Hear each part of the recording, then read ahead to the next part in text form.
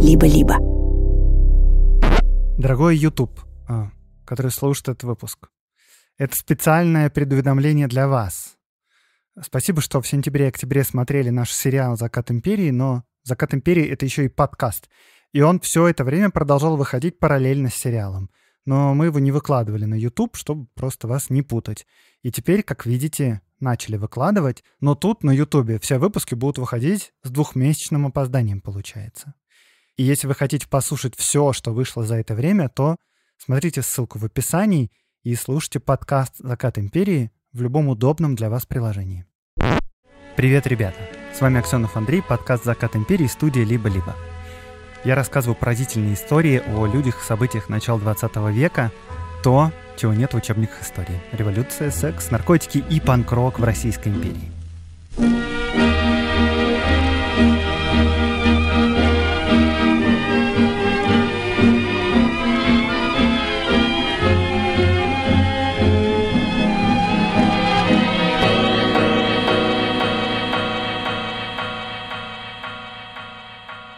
На Ютубе закончился наш сериал, мы дошли до 1917 года.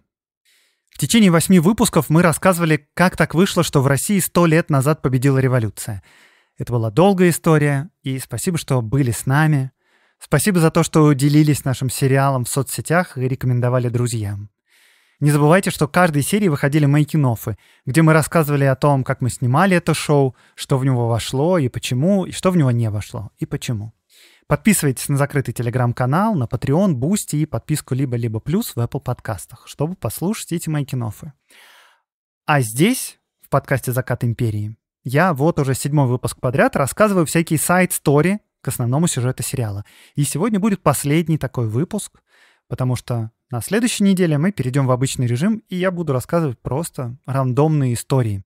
Но прямо сейчас рубрика «Идея на миллион», которую мы делаем с партнером и другом подкаста с банком «Точка». Дело в том, что 1917 год — это не только год русской революции, но и год, в который началась история гражданской авиации. Интересный факт про «Точку». «Точка» — это самая большая в России холократическая компания. Холократия — это такая система управления, в которой полномочия и ответственность за принятие решений распределяются по самоорганизующимся командам вместо традиционной иерархии. Такая организация влияет на все, от разработки продуктов до работы службы поддержки, и позволяет быстро принимать решения в кризисное время. Возможно, поэтому «Точка» — один из самых успешных финтех-стартапов в стране и ежегодно занимает первые места в рейтингах интернет-банков. И для тех, кто интересуется лучшими мировыми практиками управления и развития бизнеса, у «Точки» есть двухдневная бизнес-стажировка в главном офисе в Екатеринбурге. Она будет полезна и малому, и среднему бизнесу. На стажировке вы погрузитесь в операционные и управленческие сценарии банка, протестируете на себе принципы холократии, познакомитесь с программным обеспечением точки и пообщаетесь лично с топовыми представителями компании. Это стажировка уровня бизнес-класса. Она включает перелеты, трансфер, проживание и питание за счет точки. Вас встретят в аэропорту, учтят предпочтения в еде и сделают все возможное, чтобы вы почувствовали себя как дома. Узнать подробности о бизнес-стажировке и оставить заявку можно по ссылке в описании этого выпуска.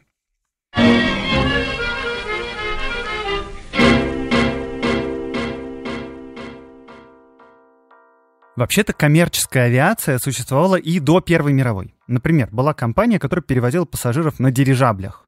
И были некоторые эксперименты с самолетами, но ни одна из этих компаний долго не прожила. Так вот, конец Первой мировой — это знаковое время для авиаотрасли. Потому что та мировая война — это первая война, где массово использовалась авиация. И под конец во всех государствах оказалось слишком много самолетов, которые теперь армии не нужны, а также много пилотов, которые умели самолетами управлять. И умные люди начали понимать, куда дует ветер, пока еще шла война. В 1916 году регулярные рейсы внутри Англии на самолетах стала делать компания Aircraft Transport and Travel.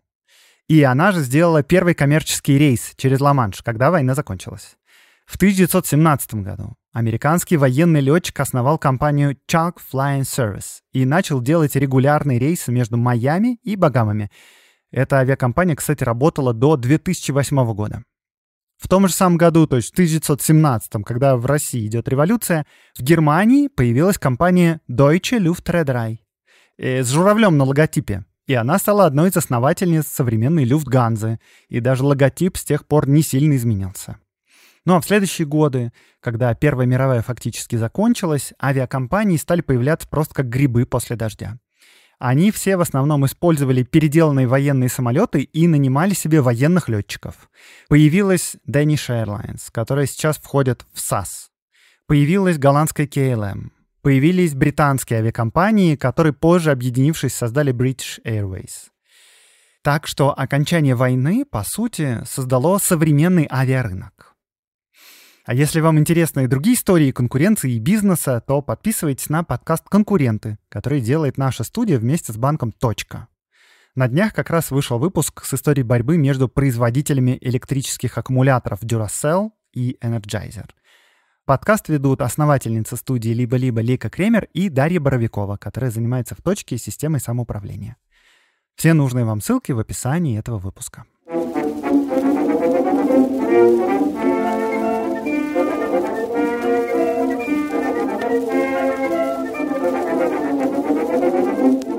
Кратко напомню, что происходило на фронте и в столице в начале июля 1917 года. Э, продолжается паническое бегство русской армии. Широко разрекламированное летнее наступление обернулось катастрофой. В Петрограде решили отправить на фронт части городского гарнизона, но они взбунтовались и чуть не свергли временное правительство. Восстание было подавлено, и все тогда сильно разозлились на большевиков, потому что небезосновательно считали их причастными к этому бунту. И большевиков, начиная с Ленина, объявили в розыск, и они бежали. Так вот, в те же самые дни в Киеве происходило чуть ли не то же самое. В Киеве взбунтовались солдаты, и одно время они полностью контролировали город. Но если в Петрограде солдаты вышли на улицы под красным, революционным, социалистическим знаменем, то в Киеве под желто-голубым.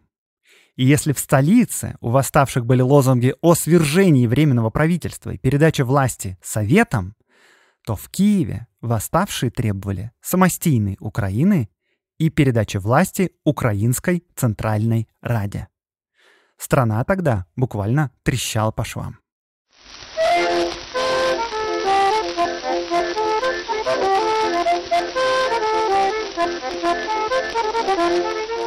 Для начала давайте разберемся, кто вообще управляет Россией. Вкратце, потому что в сериале это все было рассказано. Значит, во-первых, есть временное правительство, это министры, исполнительная власть. Э, кто их назначил? Ну, никто. Они сами себя назначили. Первый состав Временного правительства почти целиком состоял из бывших оппозиционных депутатов Государственной Думы. Так, дальше. Э, дальше парламент. Ну, парламента в стране нет. Но есть Петроградский совет рабочих и солдатских депутатов, сокращенно Петросовет. А, кто избрал туда депутатов? Депутатов выбрали туда, как следует из названия, рабочие, солдаты и матросы Петрограда. Простые горожане столицы к выборам не допускались. Почему? Ну, потому что это совет рабочих солдат, а не интеллигенции буржуев, понимаете? Ну и как-то так само по себе вышло, что вот этот вот самый Петросовет, стал главным выборным органом в стране. Он издает указы, которые по какой-то причине работают на территории всей страны. А еще он имеет сильное влияние на временное правительство. То есть, если депутаты Петросовета недовольны, то какой-нибудь министр может даже уйти в отставку. Звучит это все как-то не очень надежно и логично, но, ну, как бы, на дворе революция. Надо, чтобы хоть кто-нибудь управлял страной. Ну и вот появились такие органы. Ну и что? В целом все этим органам доверяют, в том числе потому что считают ситуацию всю эту временной. Но есть один регион в стране, в котором все устроено еще сложнее, и это Украина. Потому что в Киеве, смотрите, есть местный губернский комиссар. Это как бы губернатор. Это представитель временного правительства, то есть либералов. Есть одновременно с ним, конечно же, местный Киевский совет рабочих и солдатских депутатов. Это социалисты. Все как в столице, да? Но еще есть третья сила — Украинская Центральная Рада. Что такое Центральная Рада? А это тоже революционный орган, созданный, если говорить корректно, украинскими националистами. Ну, то есть людьми, считавшими, что Украина должна быть независимым государством или иметь автономию в составе России. Типа, в смысле, или-или. Ну, дело в том, что единства там внутри не было, потому что среди украинской интеллигенции был тогда два взгляда. Одни считали, что надо объявлять независимость прямо вот сейчас, пока ситуация горячая. И этих людей называли самостийники. Самостийников было меньшинство, а было еще большинство автономисты, которые, как очевидно из названия, были сторонниками автономии в составе Большой России. И вот все они вместе заседали в Украинской Центральной Раде. А Центральная Рада образовалась в дни февральской революции, то есть тоже в 1917 году и тоже сама по себе. Председателем Рады стал уважаемый человек в украинском движении Михаил Грушевский. Да, и тот же вопрос, что и к Советам, и к Временному правительству. Кто избрал членов Центральной Рады?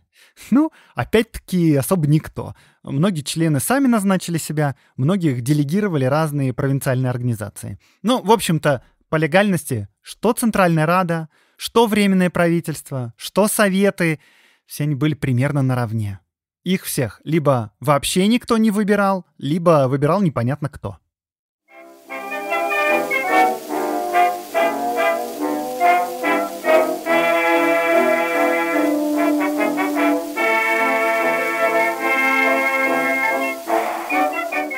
Что хочет Рада? Рада бодается с временным правительством за расширение политических прав. В идеале нужно выбить как можно больше прав для региона, и потом стать в этом регионе главной политической силой. С этой целью весной проводится Всеукраинский национальный съезд, чтобы, во-первых, повысить легитимность и представительность, а во-вторых, чтобы сформулировать требования к столице. Опять-таки, как проходили выборы на съезд, ну, на него направляли делегатов разные местные украинские организации, если они, я цитирую, поддерживают требования широкой национально-территориальной автономии Украины и всей полноты украинской политической и культурной жизни. То есть, если вы не поддерживаете эту идею, то делегатов нам не присылайте. Э, зачем такое требование? Ну, потому что в Украине есть множество организаций, созданных украинской интеллигенцией. Но вместе с этим в Украине полно отделений всероссийских партий разнообразных. Есть также еврейские организации, есть черносотенные организации, причем в Украине черносотенные партии были сильнее, чем в остальной России.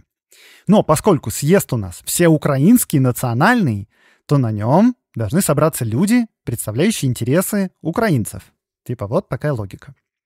Ну, для тех, кому кажется, что все украинский съезд не представительный, через пару месяцев в Петрограде происходит Всероссийский съезд Советов, который тогда считался прям таким общероссийским и очень легитимным. А кто на него избирал делегатов?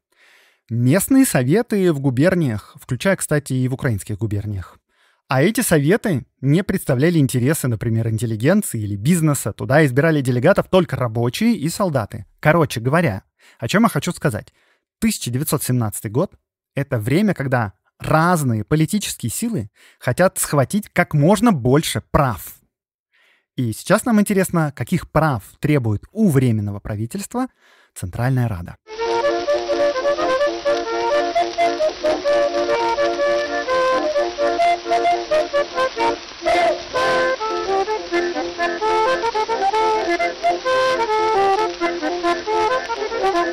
И вот требования Рады по пунктам. Национально-территориальная автономия, внедрение украинского языка в систему образования и в административное управление, участие представителей Украины, ну то есть, читай, Центральной Рады, в будущих мирных переговорах, то есть это право на международное представительство, а также, цитата, выделение украинцев в отдельные войсковые части как в тылу, так и по возможности на фронте. Как на это все отреагировало Временное правительство? Кажется, поначалу вот так, блин, Ё-моё, точно, еще же украинцы есть со своими требованиями.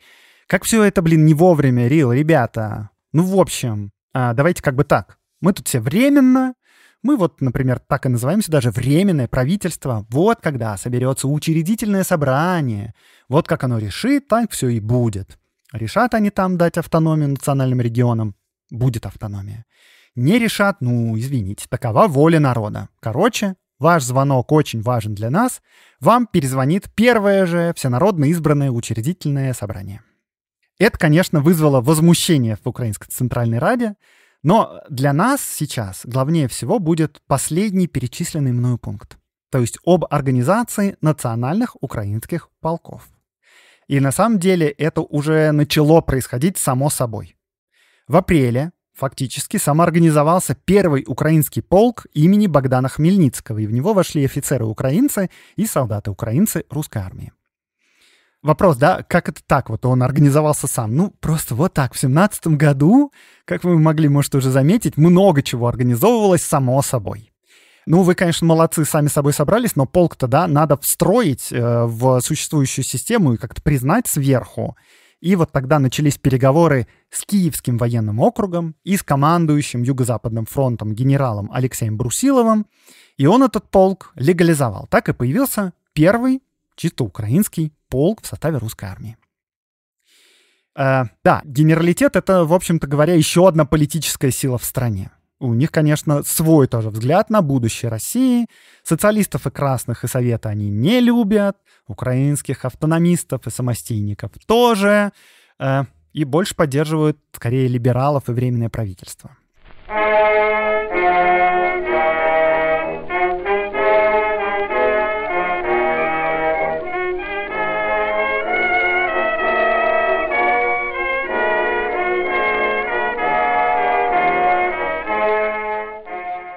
В середине мая под Черниговым скопилось большое количество новобранцев. В 1917 году с логистикой все уже было совсем плохо, и мобилизованные могли иногда по несколько месяцев, иногда даже по году ждать отправки на фронт. А вот эта солдатская масса мобилизованных самая подходящая для агитации. И если в Петербурге мобилизованных агитировали социалисты, то вот тут в Киеве были еще и украинцы. И вот мобилизованные, родившиеся в Украине, решили, что они тоже хотят объединиться в полк, по примеру первого украинского полка имени Богдана Хмельницкого. Мы хотим создать второй полк имени Гетмана Полуботка. Центральная Рада должна была бы поддерживать, наверное, это начинание. Но тут сложно на самом деле, потому что, кажется, автономисты не хотели слишком борзеть и портить отношения с временным правительством, а вот самостийники, которые за независимость Украины, они были скорее за создание второго полка. В общем, пока все думали и спорили, несколько эшелонов этих солдат переместили под Киев уже. Итак, на дворе июнь. Солдаты очень нужны на фронте. Как раз идут последние приготовления к летнему наступлению. Но оказалось, что солдаты как-то не очень хотят на войну. Причем выяснилось, что они стремительно теряют дисциплину, в том числе и потому, что среди них затесались 62 каторжника бывших и 21 бывший царский полицейский. И те, и другие как раз активнее прочих не хотели воевать. Ну и да, и агитаторы самостийников тоже везде ходили с лозунгами, например, вот с такими. «Фронт наш в Киеве! Мы должны здесь защищать свободу Украины». Командующий войсками Киевского военного округа полковник Обручев вспоминал. В то время, когда делались героические усилия для того, чтобы сломить врага, июньское наступление, я не мог послать ни одного солдата на пополнение действующей армии.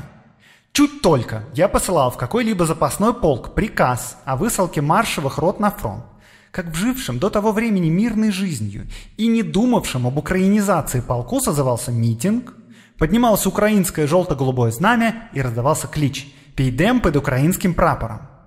И затем не с места. Проходят недели, месяцы, а роты не двигаются ни под красным, ни под желто-голубым знаменем. Э, да, роты под красным знаменем тоже не хотели никуда идти, потому что в то же самое время в Петрограде никакие уговоры не могли заставить местный гарнизон отправляться на войну. Прямо красные социалисты из Петросовета ходят по красным социалистическим полкам и уговаривают их отправляться на фронт, а те ни в какую. Ну, потому что среди них полно было большевистских агитаторов, которые говорили, что место Петроградского гарнизона в Петрограде — защищать революцию. А то, типа, вы уедете на фронт, тут все буржуи захватит, оставайтесь, нечего вам на фронте делать. Это в Петрограде. А вот в Киеве к мобилизованным отправились Владимир Винниченко и Симон Петлюра. Это представители Центральной Рады и одновременно члены Украинского главного военного комитета. Это украинцы сделали специально такой орган для создания и обеспечения украинских частей. В общем, Винниченко и Петлюра вместе с другими еще товарищами отправились к мобилизованным, чтобы уговорить их ехать на фронт.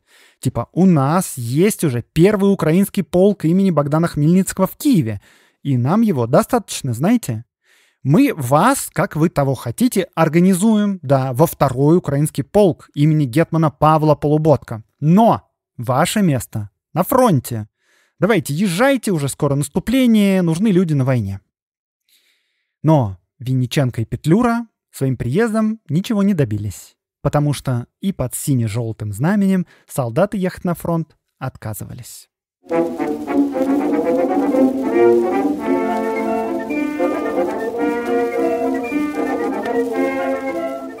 Конце июня, наконец, началось наступление русской армии. То самое, широко разрекламированное. Солдаты же, о которых я рассказываю, до сих пор сидят под Киевом и никуда не едут.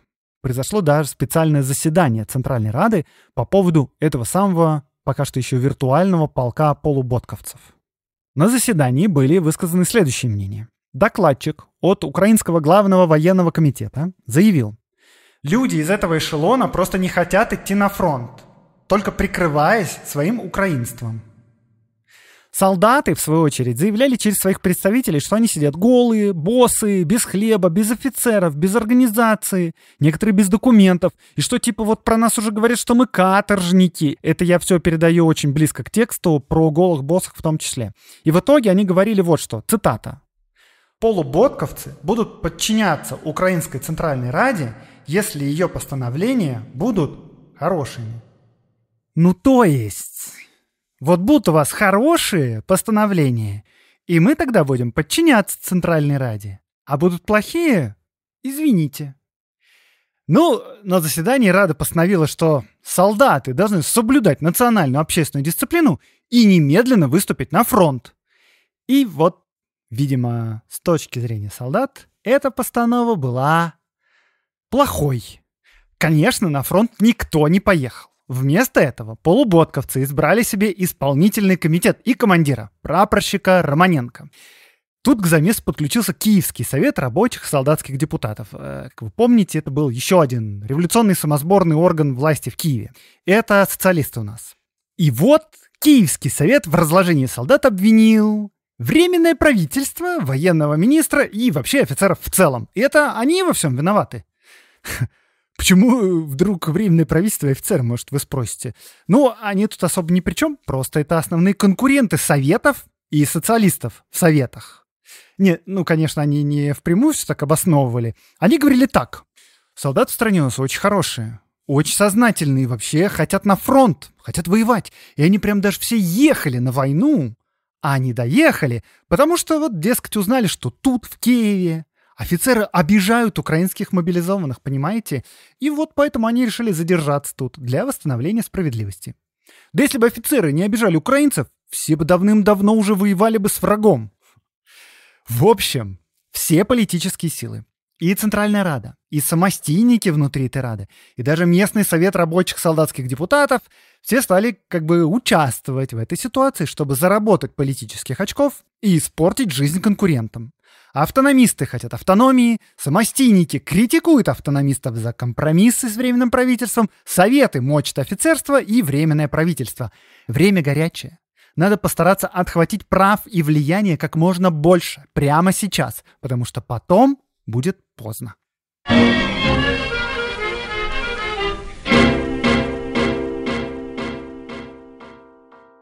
Небольшая некоммерческая интеграция про центр насилию нет.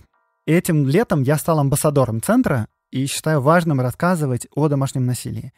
Вокруг него до сих пор существует множество мифов и заблуждений. От пресловутого «сама виновата» до веры в то, что пострадавшие не уходят, потому что на самом деле ее устраивают такие отношения. Это совсем не безобидные мысли и высказывания. И, в принципе, любой человек, который мало знаком с проблемой, особенно если она его лично не касается, может поддерживать эти заблуждения. Поэтому очень важно нам самим разобраться в проблеме в первую очередь. На сайте Центра насилию нет можно не только найти множество объясняющих материалов, но и пройти тесты на разные виды насилия.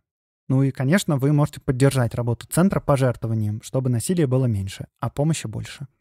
Все ссылки в описании этого выпуска. И спасибо.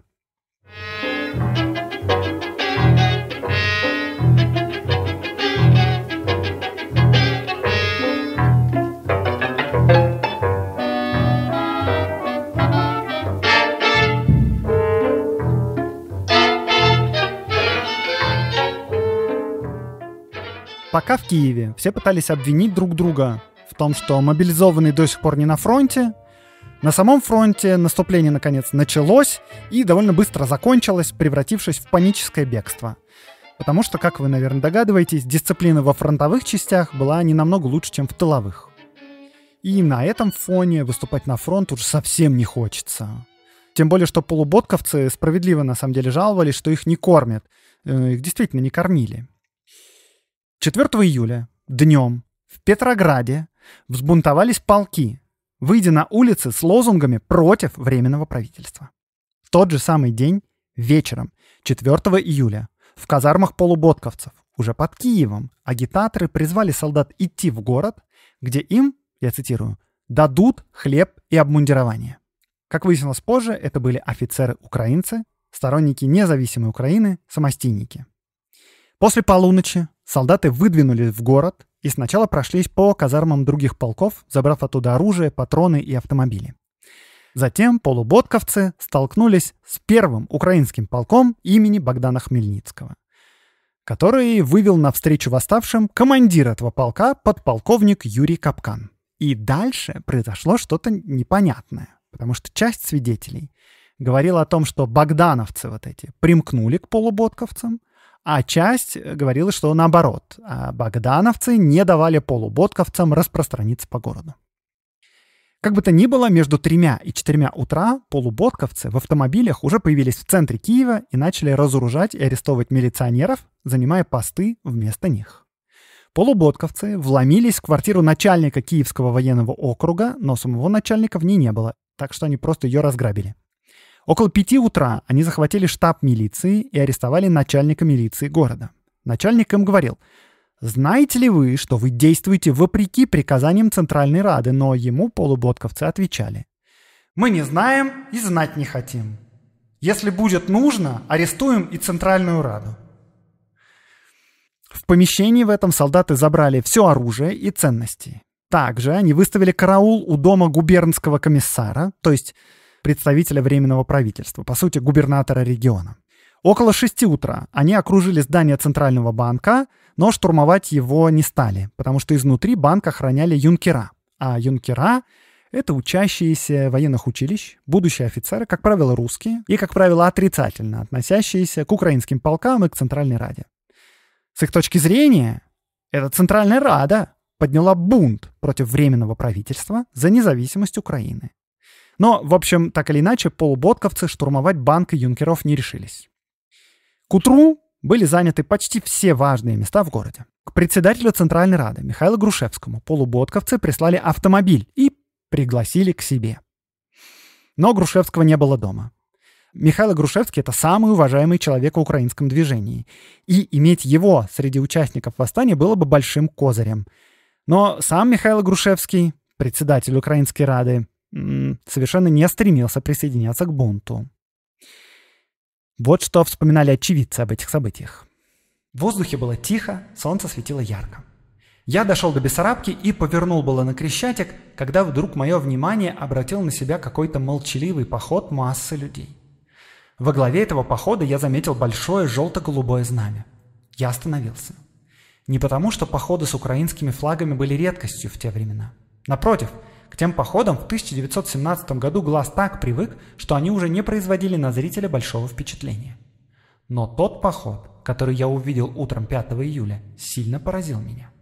Было это глубоко молчаливое, сосредоточенное движение массы людей, имея какую-то определенную, заранее намеченную важную цель. И эта его уверенность, решительность и молчаливая торжественность невольно передавалась зрителю. Так могли идти люди только в бой, на дело – концом которого была смерть или победа. Кто были эти люди, откуда они, как называлась там мрачная боевая масса воинов, я не знал. Я только видел, что это было настоящее войско и что во главе того войска маячил желто-голубой боевой украинский флаг. Несмотря на происходящие там сям стычки, драки, мародерство и некоторый хаос, было довольно очевидно, что солдаты действуют по плану, причем довольно четкому плану. Последовательно берут под контроль самые важные места в городе. Это было слабо похоже на стихийный протест для восстановления справедливости. Причем на вопросы, по чьему приказу они действуют, полуботковцы говорили, что все приказы исходят от командира первого украинского полка имени Богдана Хмельницкого Юрия Капкана. Вау! Это что, получается, первый украинский полк на стороне восставших? Ну, был ли первый украинский полк на стороне восставших или не был, план действий действительно у восставших был. Больше того, он позже всплыл в печати. Там историки немного спорят о его достоверности, но, вероятнее всего, он настоящий. И какова же была цель восстания? Вот что было написано в плане. Украинский народ не имеет тех прав, которых добивается каждая нация, и которые должны принадлежать каждому народу. Выдвинутый русской революцией лозунг самоопределения народов остается только на бумаге. Мы, собравшиеся в Киеве украинцы-казаки, не хотим иметь свободы только на бумаге или полусвободы. Мы приступаем к наведению порядка в Украине. Для этого мы всех россиян и ренегатов, которые препятствуют работе украинцев, сбрасываем с их постов силой, не считаясь с российским правительством. Признавая Украинскую Центральную Раду своей высшей властью, мы пока что выгоняем предателей из Украины без ее ведома.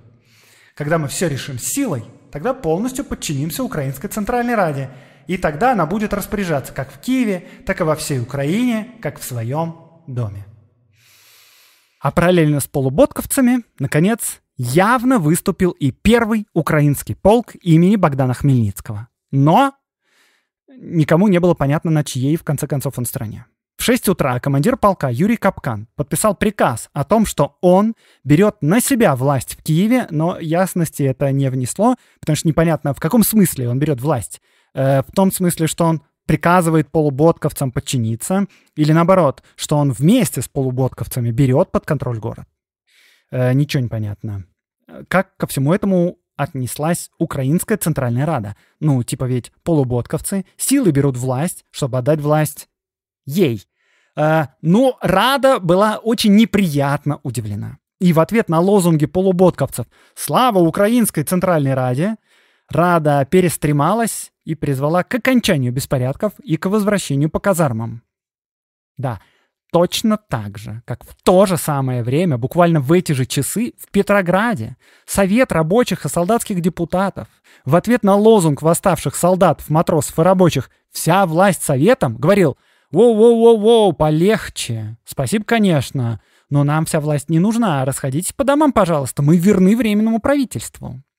А логика и большевиков в Питере, и самостийников в Киеве была такой. Мы сейчас силой вручим всю власть Совету и Раде. Соответственно, ну, не будут же они отказываться, если дело все уже будет сделано. Берите власть, коль дают. Но ни Петросовет власти не захотел брать, ни Рада в Киеве. И в этом смысле украинцы из Рады встретили полное понимание не только со стороны Временного правительства, но и со стороны генералов и офицеров Киевского военного округа и со стороны социалистов местного Киевского совета рабочих солдатских депутатов.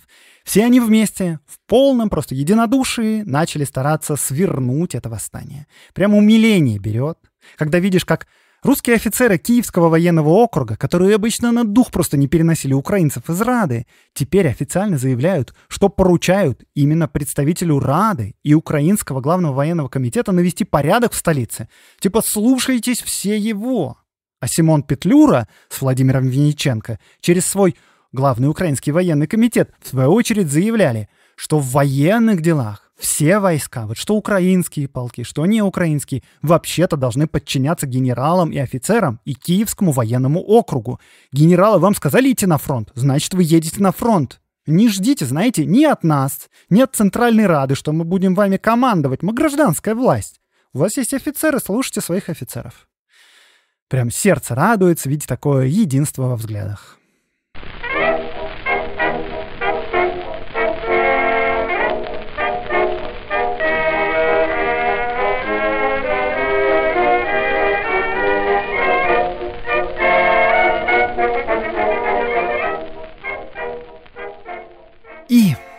Кому же назначили главную роль в наведении порядка?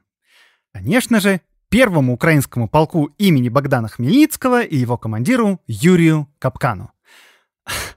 Постойте-ка, так они же вроде вместе с полуботковцами взяли город. Или, или нет, или не, не взяли. Ну, типа, ничего же непонятно было.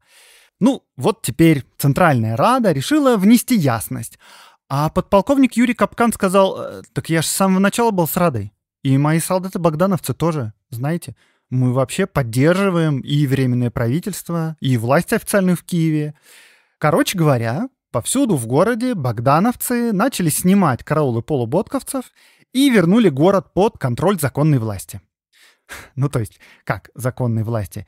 Всем законным властям, что были в городе, и Временному правительству, и Совету рабочих солдатских депутатов, и в Украинской Центральной Раде, и офицерам Киевского военного округа. На улицах даже начали арестовывать полуботковцев, и не только полуботковцев, с награбленным, потому что, конечно, мародерство началось еще с утра. Всех арестованных направляли в офис Центральной Рады, где их разоружали и отпускали назад в казармы под обещание больше не бунтовать. А сами полуботковцы вообще не очень связно объясняли, что это такое было. Ну, типа, мы хотели навести порядок со снабжением, нам вот не давали хлеба, одежды, и мы вот что-то решили, что это, наверное, дело рук изменников каких-то, ну или контрреволюционеров, или там русских, которые против украинства, ну или евреев, ну потому что. А кто еще может быть виноват, э, если происходит несправедливость какая-нибудь? Конечно, не евреи. Ну и вот нас повели просто в город, э, дали нам приказы. А кто, честно говоря, мы даже сами не очень понимаем, но, по крайней мере, мы против властей не бунтуем совершенно. Единственное место, которое вызвало проблемы, это Киевская крепость, которую заняли полуботковцы еще утром. И вот когда порядок в городе наводили, э, штурмовать крепость, чтобы отбить ее у восставших, как-то не решились. Но ночью засевшие там солдаты сами решили прекратить бунт и отправились в казармы себе. Короче говоря, порядок был довольно быстро наведен. Полуботковцы легко передавали контроль над городом украинцам из полка Богдана Хмельницкого. А когда им говорили, что Центральная Рада постановила идти в казармы, они говорили, ну да, да, мы Центральную Раду уважаем, всегда уважали, идем по казармам домой. А что? Ну и когда все успокоилось, все начали выяснять, а что это вообще такое было? Вот в Петрограде в те же самые дни виновных нашли мгновенно. Ими назначили большевиков. Ну и против большевиков, посмевших поднять восстание в столице посреди войны, там начался такой хейт, что все они, начиная с Ленина, разбежались. И Ленин, в частности, в Финляндию. А в Киеве тоже все силы начали использовать ситуацию, чтобы расправиться со своими политическими противниками. Ну и первым делом, конечно же, хейт поднялся против украинцев и конкретно против Украинской Центральной Рады. Типа, ну это же вы э, как минимум лодку раскачали, а как максимум вообще руководили восстанием вообще-то. А Рада оправдывалась. Ну, с одной стороны, конечно, именно Рада активно участвовала в украинизации полков, но с другой стороны, в Раде говорили, да мы, да чего, мы вообще с самого начала призывали отправлять их на фронт, этих солдат. Вон наши ребята, Винниченко, Петлюра, еще заранее к полуботковцам ездили, чтобы их утихомирить. Чего вы на нас гоните? Винниченко отправил в столицу вот такое сообщение. В ответ на ваш вопрос об отзывах петроградских событий в Киеве сообщаю, Центральная Рада и исполнительные комитеты послали в Петроград телеграмму с заявлением о полной готовности всеми силами поддерживать Временное правительство и с осуждением выступлений безответственной группы. Эм, неожиданнее всех тут выступил Киевский совет рабочих солдатских депутатов, который во всем обвинил большевиков. Большевики тоже сразу возмутились, типа, а мы тут вообще при чем? Им говорят, ну как, а в Петрограде кто поднял восстание? А у нас? Точно такая же фигня. День в день случилось. Совпадение? Не думаем. Большевики говорят, да мы же помогали солдату тихомирить. Это, кстати, было правда. Они действительно помогали все закончить. Ну, кого это волнует, если можно своих конкурентов немножечко притопить? И нескольких большевиков даже арестовали. Но, в конце концов, Киевский совет рабочих солдатских депутатов решил, что большевиков они достаточно пугали и переключился на более традиционных врагов. Конечно, на капиталистов. Это все было из-за них, естественно. Темные силы пытаются использовать народную нужду. Крови народной, в разгроме и разрухе желают они потерять дело революции и вернуть власть старым насильникам. Короче говоря, если кто-то и виноват, то, ну, во-первых, точно не мы, а во-вторых, виноваты во всем, скорее всего, наши ближайшие конкуренты.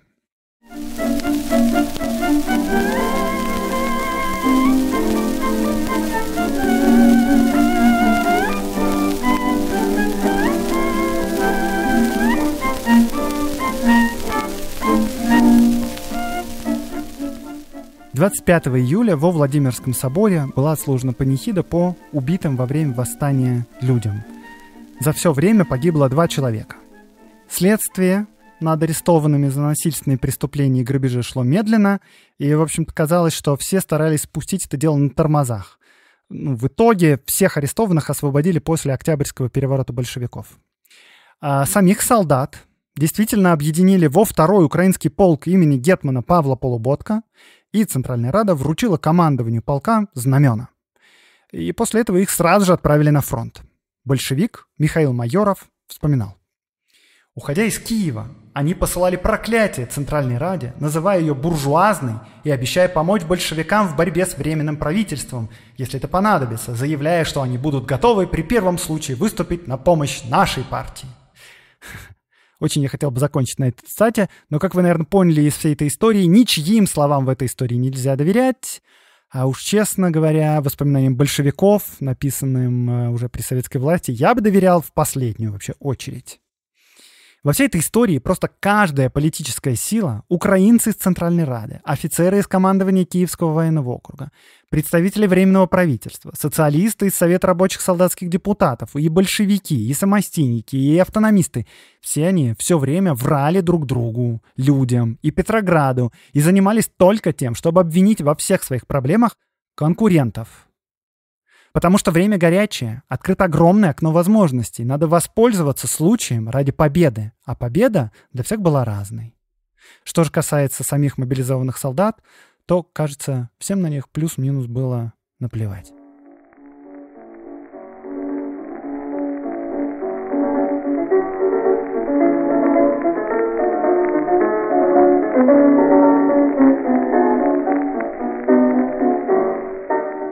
Рубрика «Чтобы послушать». Э, послушайте, ребята, подкаст «Мышь погрызла», который ведет э, авторка блога Lab Mouse, блога о генетике, биоинформатике и анализе биологических медицинских данных. Да, но подкаст не про это, а про издание научно-популярных книг, потому что ведущая Аня Иванова зовет к себе в подкаст разных людей, которые выпускают научно-популярные книжки. И вот позвала и меня, и я рассказывал, как придумывались и делались книжки, которые издались под моим именем в этом году. Ссылка в описании этого выпуска.